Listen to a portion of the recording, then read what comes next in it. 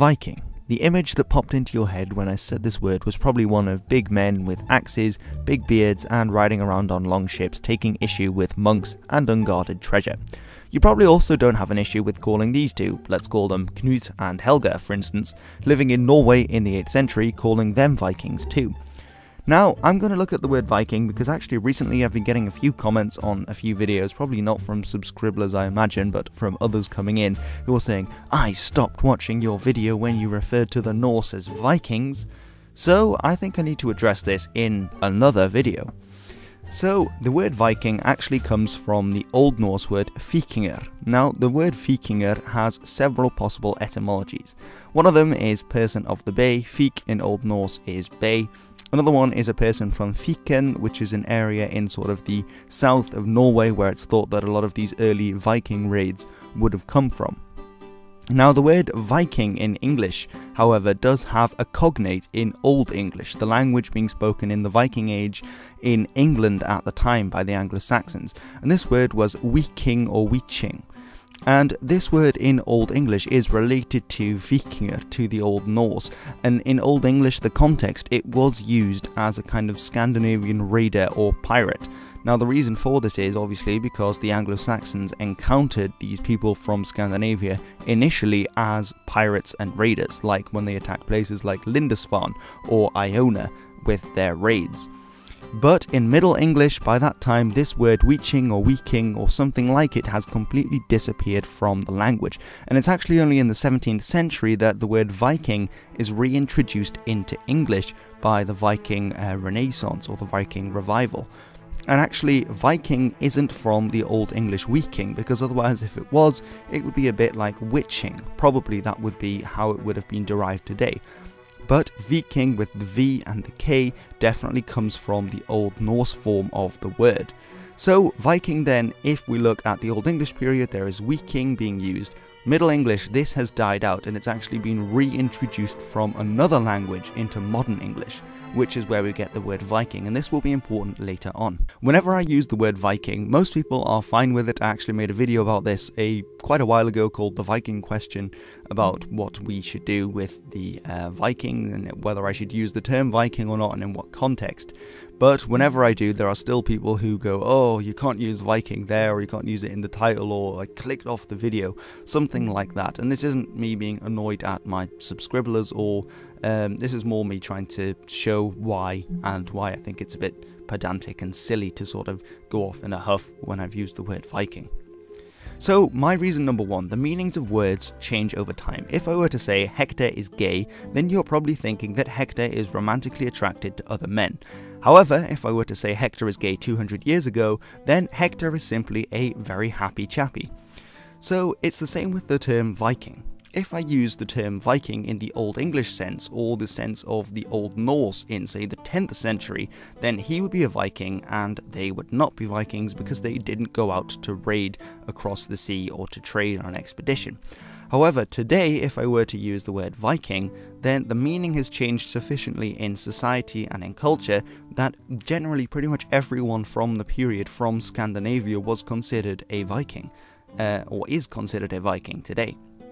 Reason number two, I'm speaking English. Now, this is going to be important. I make videos obviously in English, I make them as well in Dutch, and I've even done one in Spanish a while back. But I don't make videos in Old Norse. Quite obviously. I mean, it would be cool if I could, but it's going to take a lot of learning. If you do want to speak Old Norse, by the way, check out um, Jackson Crawford. And if you're interested in more Old English stuff, then I highly recommend Leornende Eald Englisc. I will put links to both of those channels in the description. But if I was speaking Old Norse, then the only reason that the statement they are Vikings would be incorrect is if I was speaking to you in Old Norse or in Old English, both of which we have established I'm not, or if I was around in the early medieval period. And obviously, I'm not in that either. I'm speaking modern English of the 21st century. And of course, I'm not speaking to any Vikings in the audience. I mean, I don't think I am. If there are any Vikings, then do be sure to comment below but I'm pretty sure I'm speaking to people who understand English of the 21st century as well. Now, reason number three the expert's take.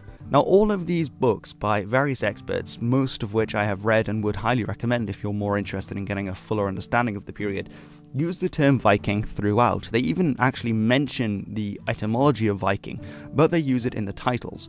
So, if the experts are using it, the people who dedicate their lives and time and have done all the research on these peoples, are happy with using the term Vikings, but you, a keyboard warrior, being pedantic about me using Viking in a video is correct and has more knowledge on them than all of these experts.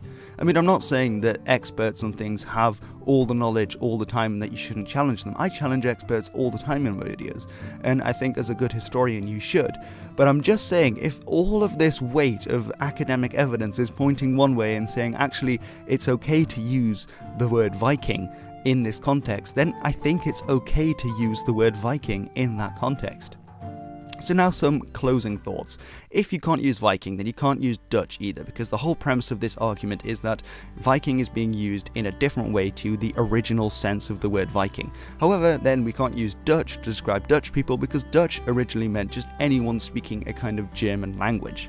We can't use Scotland either because the Scoti, they were people from Ireland, they were pirates coming across, probably Dalriadans. So Scotland is actually Ireland, so you can't use Scotland.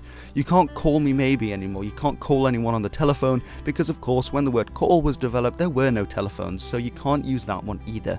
As well as this, if you're in the bar and you are hitting it off with Elizabeth of York, you aren't flirting because flirting initially meant throwing something away, flicking something away, as well because you don't want to get Henry VII going all Bosworth on your ass. As well, then, if you do that, then you can't use the word Viking anymore for these peoples, then I suggest you start learning all the place names in Norway, Sweden, and Denmark where all of these people came from, because that's how they would have referred to each other, and if that's what you prefer, go ahead and be my guest.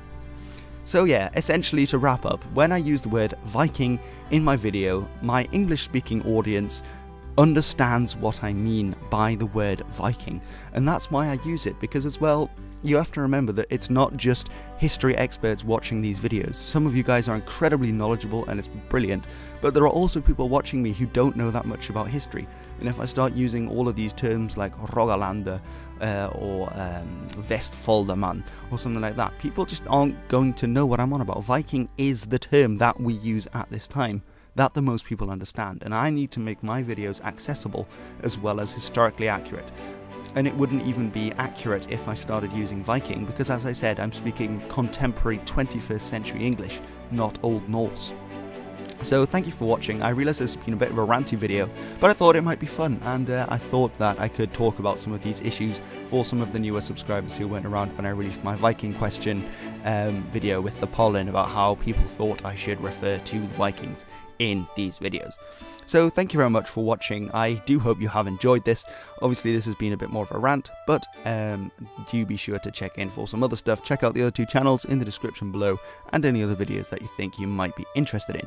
So thanks very much for watching. I'm History with Hilbert this has been my rant about why we should stop being pedantic about the use of the word Viking. Thank you very much and see you all very soon.